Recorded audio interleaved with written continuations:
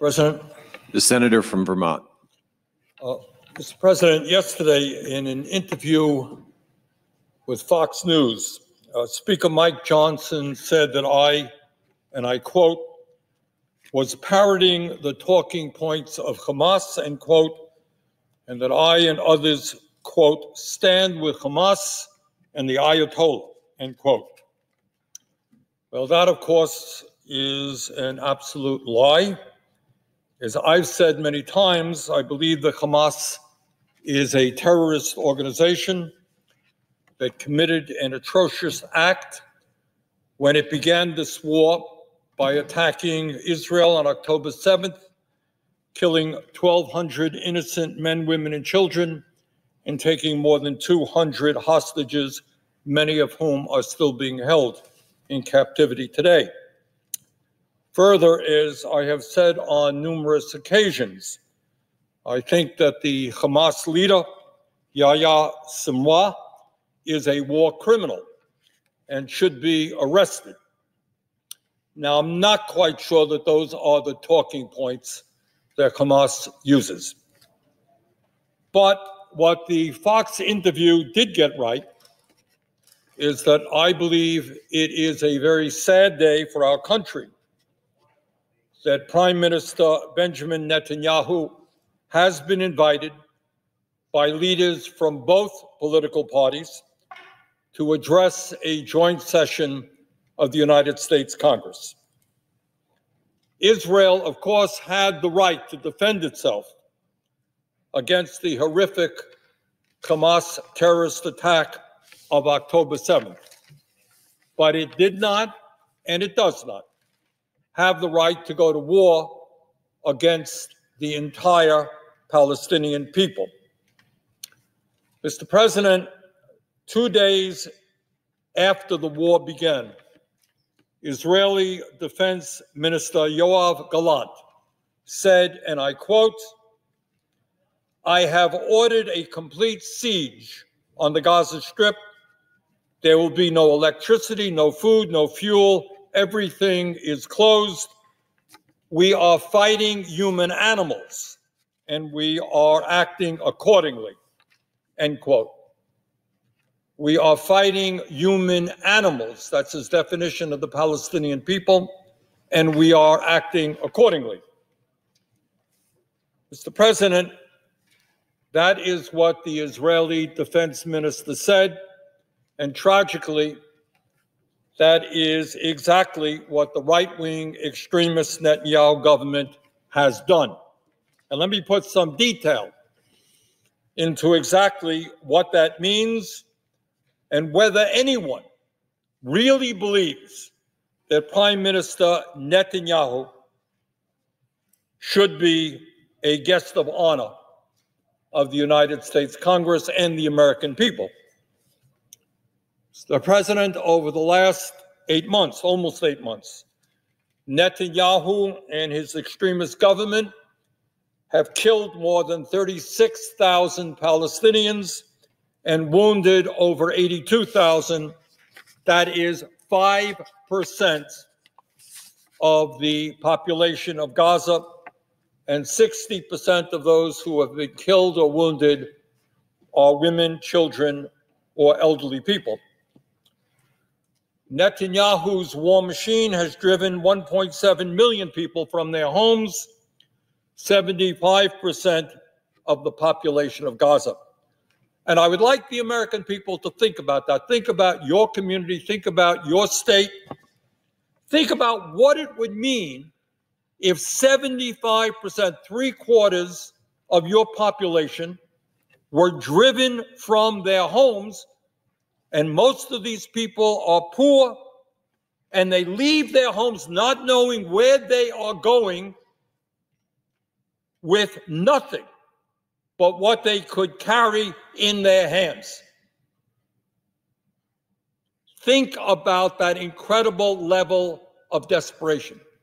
Three quarters of the population driven from their homes, carrying a few bundles of clothing or food or whatever it may be.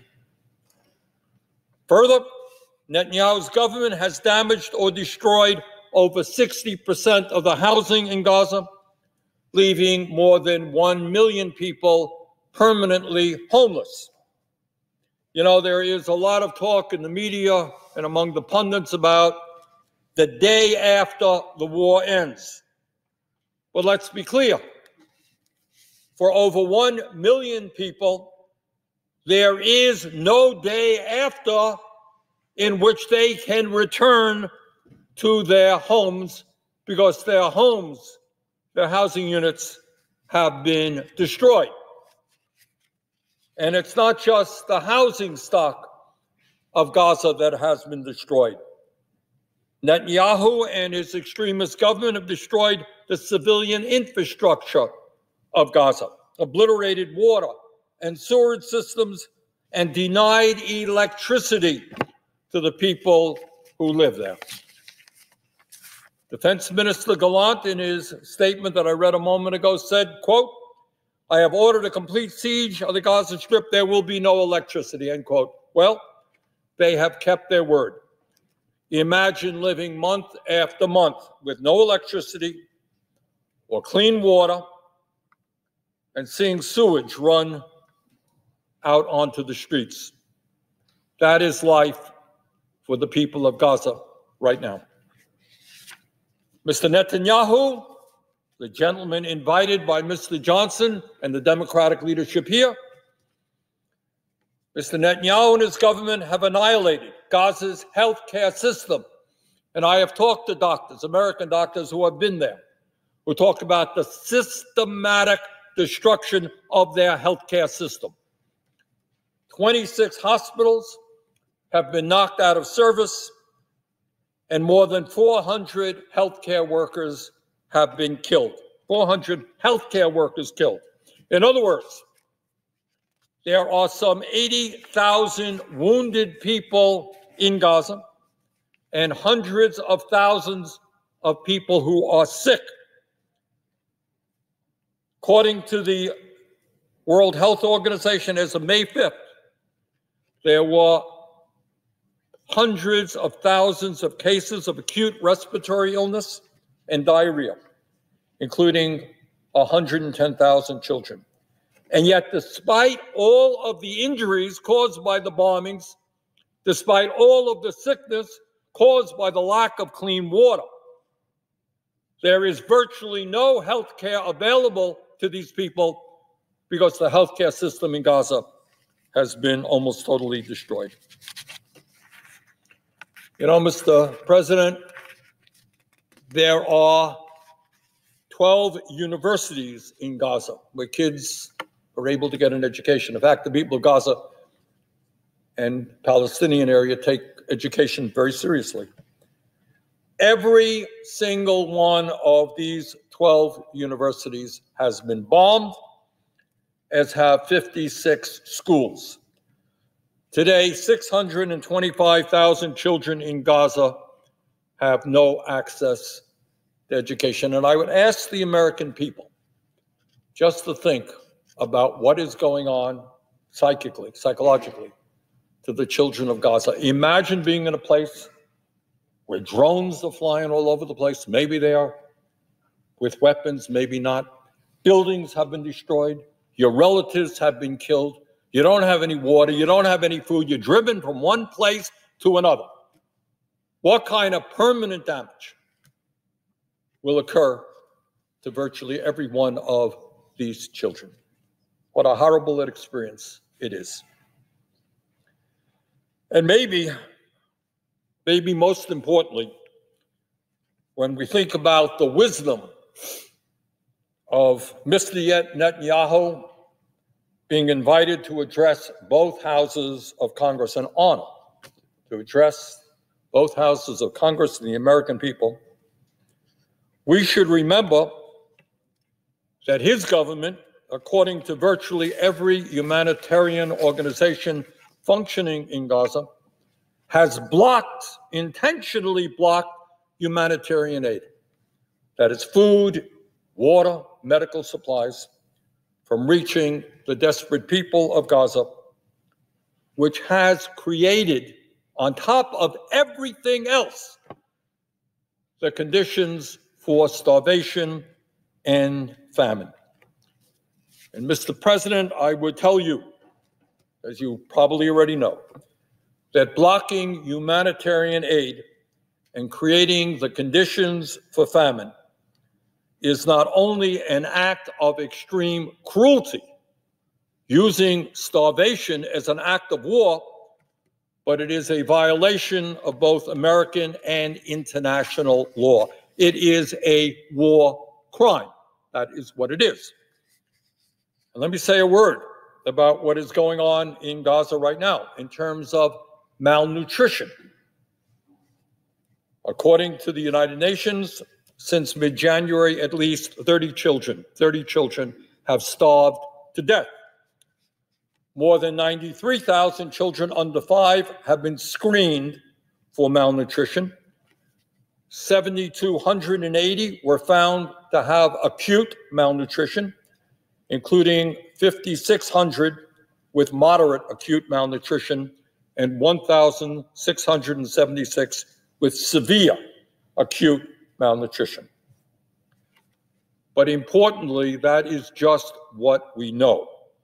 The full reality is likely much, much worse.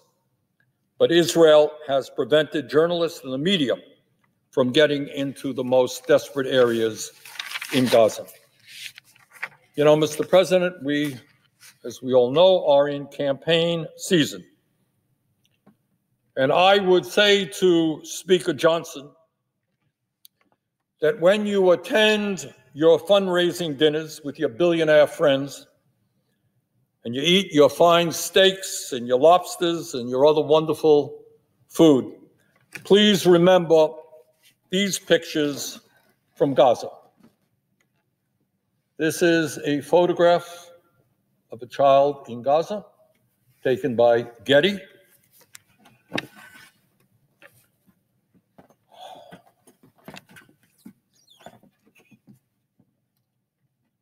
This is a photograph of a child. And his or her mother, uh, taken by Reuters, and one doubts very much whether that child is alive today.